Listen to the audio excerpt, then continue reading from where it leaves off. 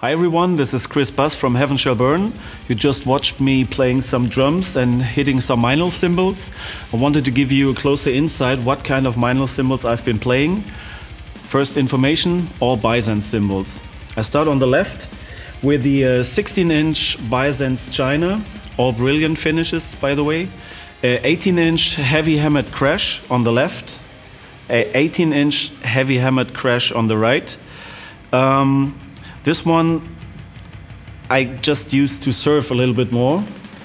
Then I got a 20 inch heavy hammered crash, an 18 inch heavy hammered China, a 22 inch heavy hammered ride, a regular Byzance splash 10 inches, and a 14 inch heavy hammered hi hat.